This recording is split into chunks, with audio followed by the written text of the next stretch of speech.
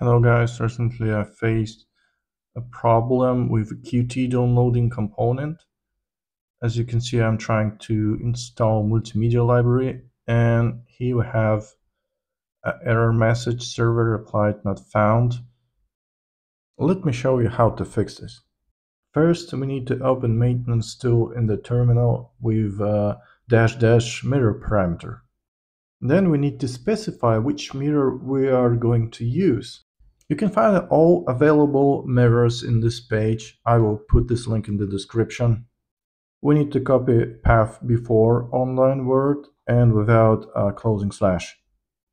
Um, yeah, I forgot to use dot with a slash.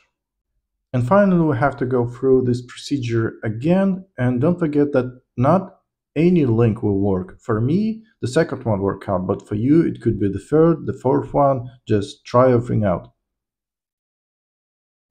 And as you can see, downloading has started and probably it will be okay then.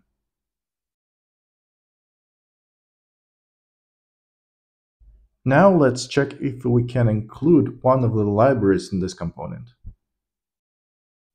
Okay, no error messages. And don't forget to include this package to the CMake list if you are using CMake.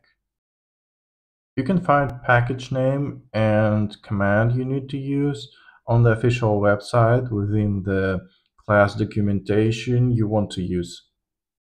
That's it guys. I hope I was able to help you with this issue and thank you for watching.